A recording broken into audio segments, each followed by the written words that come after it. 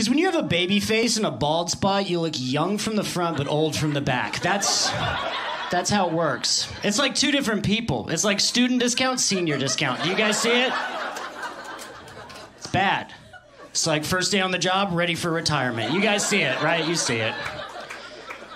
It's like frat house, assisted living, razor scooter, rascal scooter. Can I see some ID? Are you lost? It's bad. I know. I know what it looks like.